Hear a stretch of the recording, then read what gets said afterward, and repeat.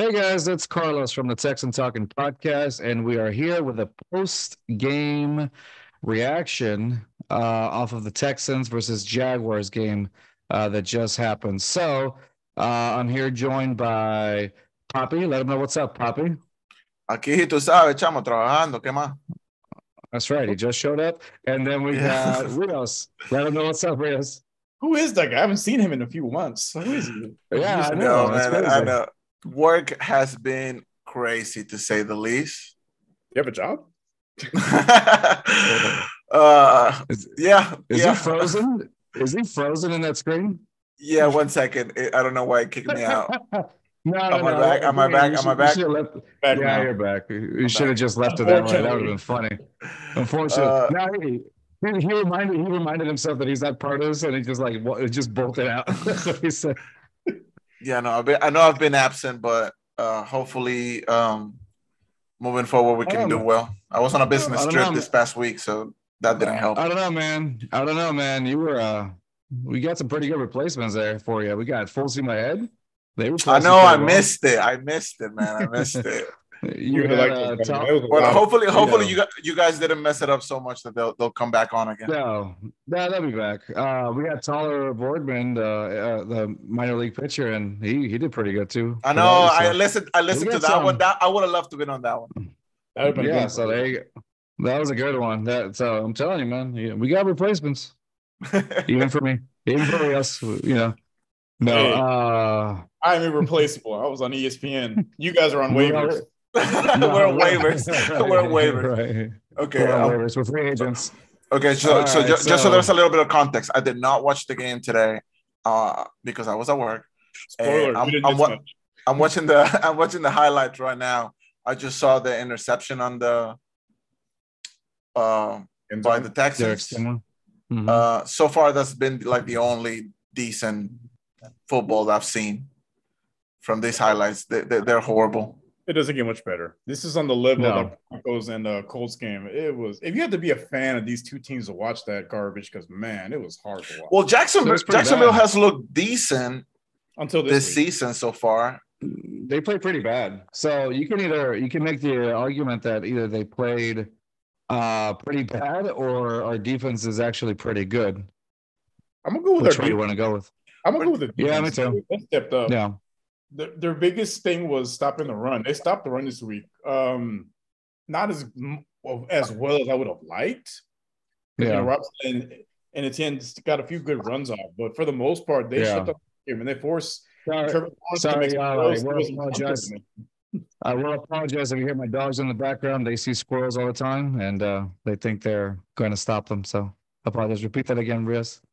No, I'm saying like uh, I would have preferred that uh, they, they did a better job on um on Robinson and Etienne, but they stepped up this week.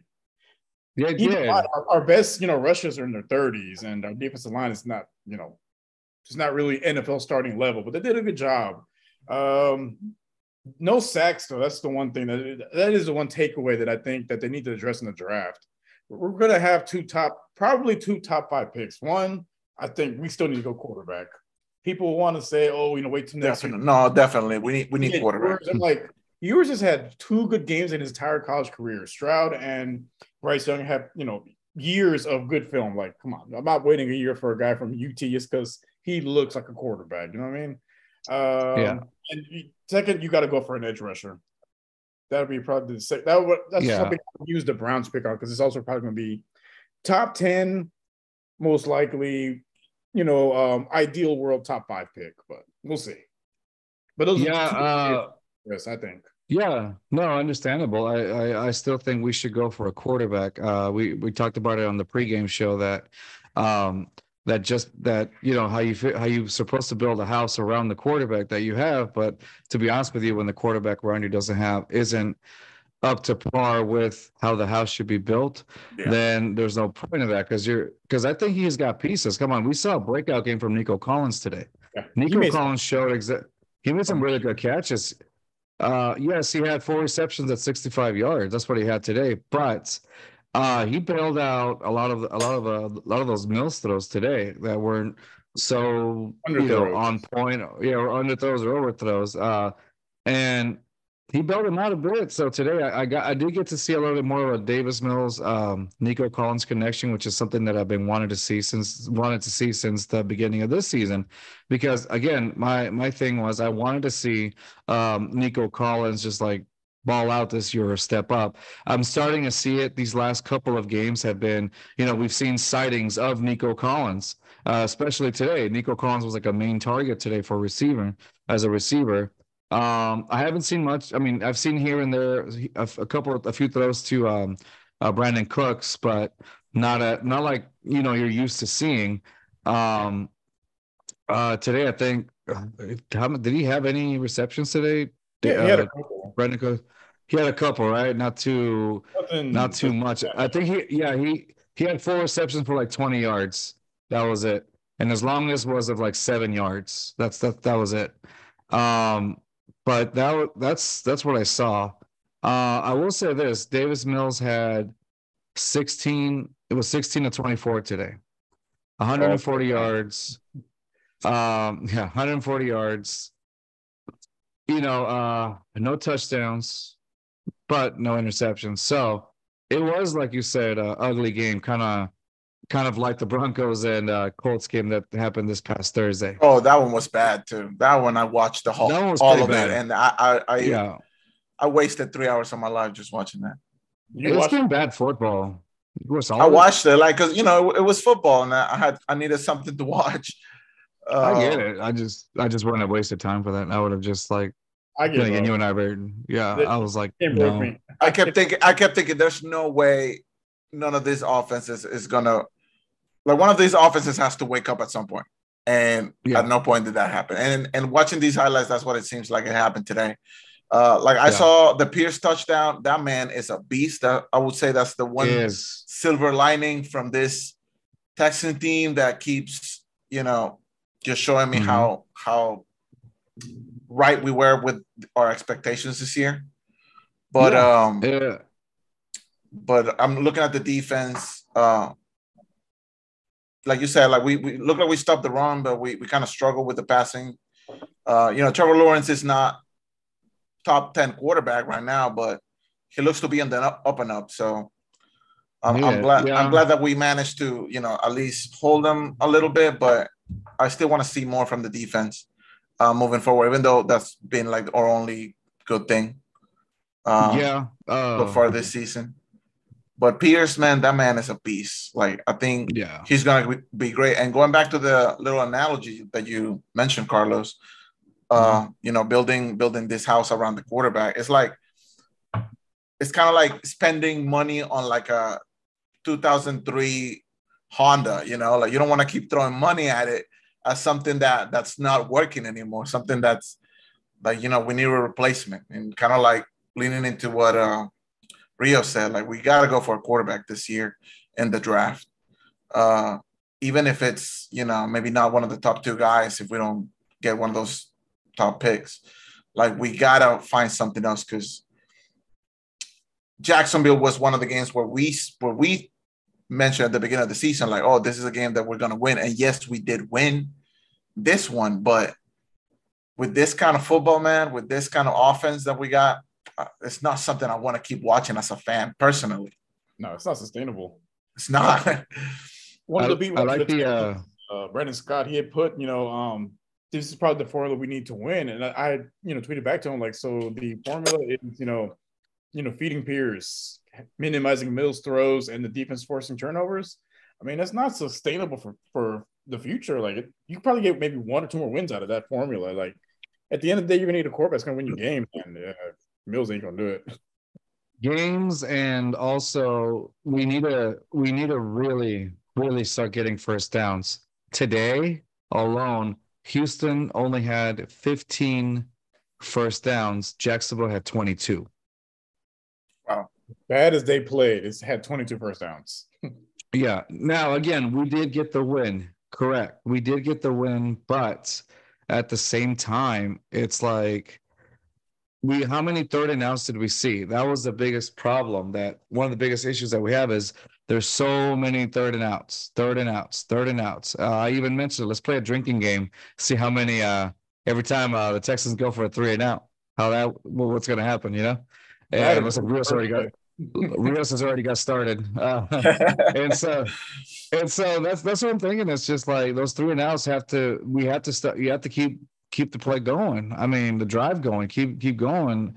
Um, the last, uh, I think the the last drive, one of the last the, the scoring drive that was going on for a while. I even told you when we were uh, we were talking, I was like, you know what, this is what they need because by the fourth quarter, the defense is uh, extremely gas. They just need to keep continuing those, uh, those uh, how do you call it, those that drive and keep going and keep converting on first, to keep converting to first down, and that that's been another issue also. I mean, there is it's a plethora of issues that the Texans have right now, but uh, if you can start adjusting and doing better at those, you'll be fine.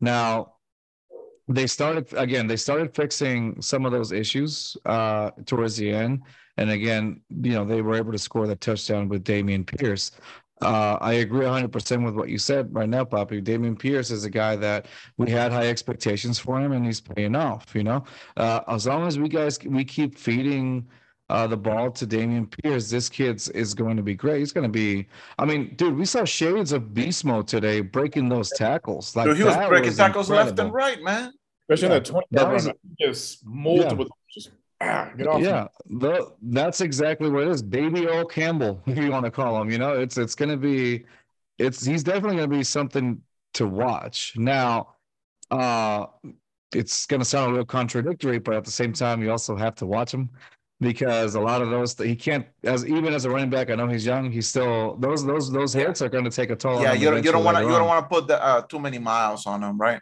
That's right. the thing especially in the lost season. Exactly, yeah. especially I mean, on a season exactly. where, where it doesn't matter. But it's good to see so, it's, it's good to see the progress and it's good to see some of these like uh young players adapting mm. to the to the NFL like the league like uh, as as much as they have mm-hmm. so far. This is yeah, Stingley with his first interception, I thought that was amazing. So there's that. That's paying off. He had a clutch uh I think towards the end, uh, it was like the last drive. He had a clutch. Uh, a clutch. Um, I think he like missed. He, he, redirected the ball with just by touching it. Towards the end, it was supposed to be like one of those throws that Trevor Lawrence was supposed to make uh, when he was trying to get that hail mary. Um, and so he, uh, you know, he deflected the ball uh, as he should have, and he he was he came in clutch. He you know he got his first interception. I was happy about that.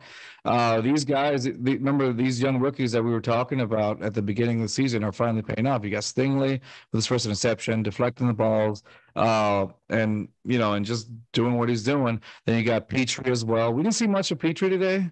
As a, as a, yeah, he had a quiet game, but I mean, doesn't mean he still wasn't balling out. So those guys that we have talked about, and then Green has also been pretty good also uh, in the O line. So I think those guys, uh, that's the brightest spot. You know, the, the the the rookies. That's the biggest bright spot for the Texans, and that right there is your house. Those are the that's the house you got to build around. That's because that's why you need a new quarterback because those are the guys that you need to build around, not the opposite way around.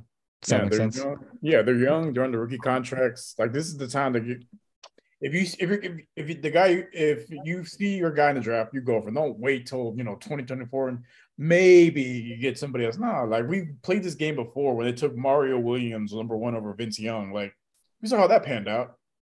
They were trash for what five six years, and Mario was left.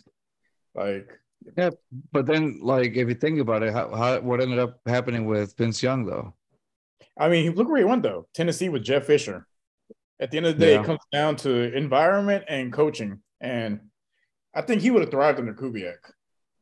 You think you think Vince Young would have thrived under Kubiak? Yeah. Okay. Because he would have uh, uh, Kubiak's a quarterbacks coach. He would have played to his quarterback strengths like he did with Matt Schaub. He wasn't forcing yeah. Matt Schaub to make those he couldn't make. He designed his entire playbook to, you know, make Schaub look good. And he would probably do yeah. the same for Young. Bootleg, bootleg, seven and nine. It was bootleg every other play. Remember that bootleg Foster, bootleg Foster, bootleg Foster. Oh, bootleg Owen Daniels.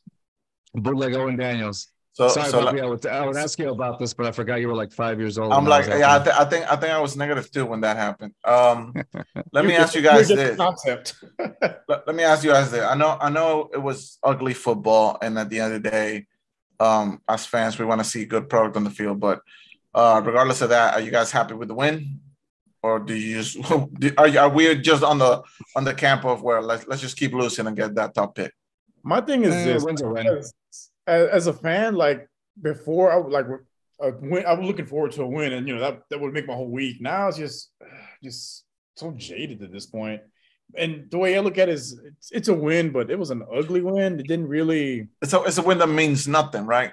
Like it's, essentially like this win is not making us better. This win is not making us No. contenders, and it's not making No, us it- like Now, if Mills would have had like you know six touchdown passes and you know had put on the masterclass performance, you know maybe I feel better about the win. But it was an ugly win that you relied on your rookie running back and your you know young secondary to win the game for you. It's it basically we're back at square one. Like we need a quarterback, we need some edge rushers. Like we're we saw we answered no questions. The way I look at it.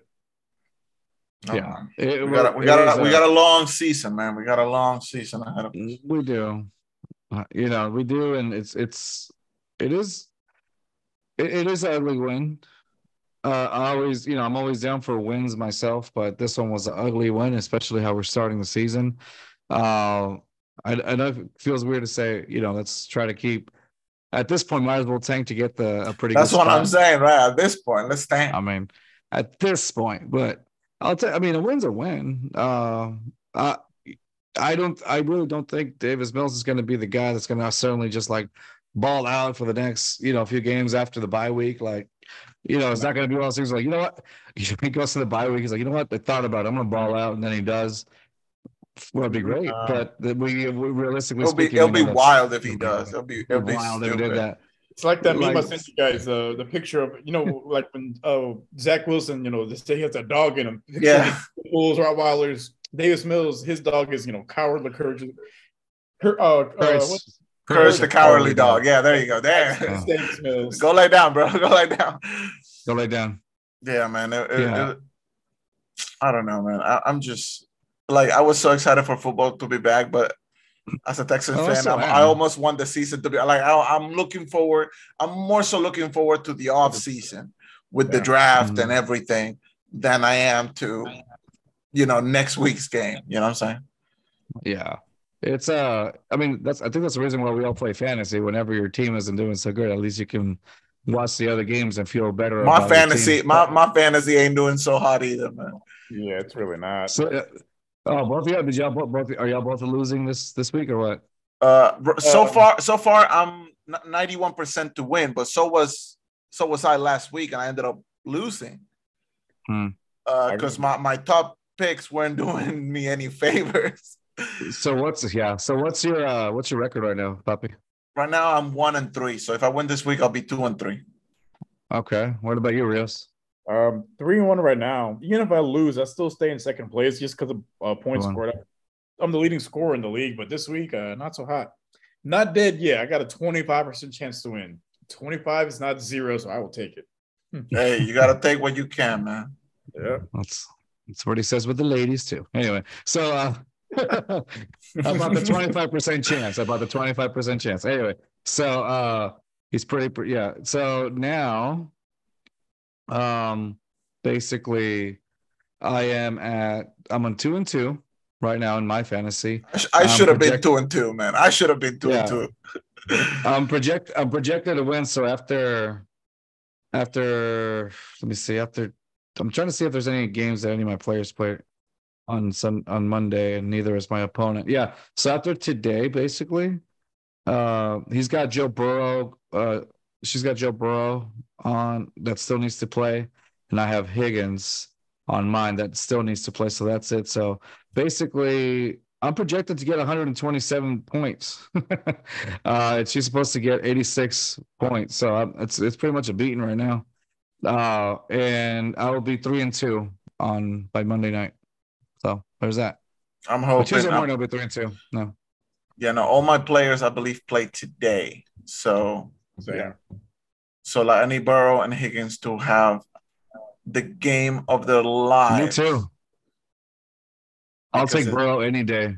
It's it's really killing me. He's Wait. been he's been more solid this past few weeks. Um, but my opponent's got Mahomes, and you you already know mm. he's gonna give you you know tw- 25 Bro. points easy. Well, it, it also depends because we, we were talking about it with full steam ahead, and it's a divisional game. Uh, they're playing against the the Raiders now. The Raiders, yeah. Number one. Now I already know how you feel about the Raiders. You don't have to say it. They suck. They But- they they suck so hard. They do.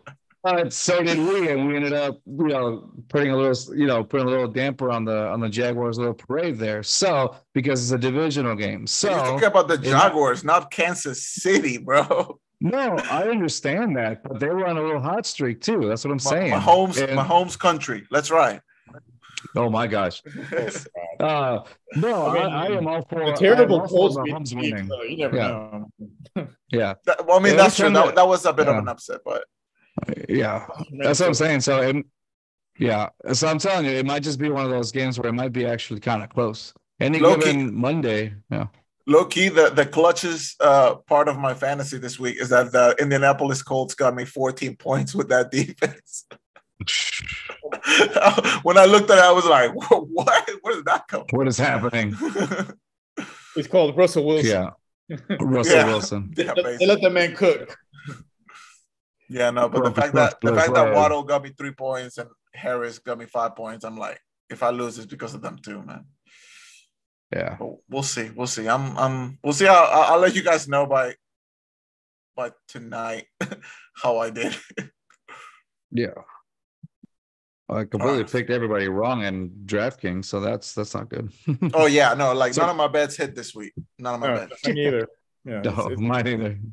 We were pretty bad picks today. So yeah. Uh nonetheless. Anyway, so We're calling it. what were no, not yet. Uh Okay, okay. it's still we still have a few minutes. Um nonetheless, one of the going back to our our game today against the the how do you call it the the Jacksonville Jaguars.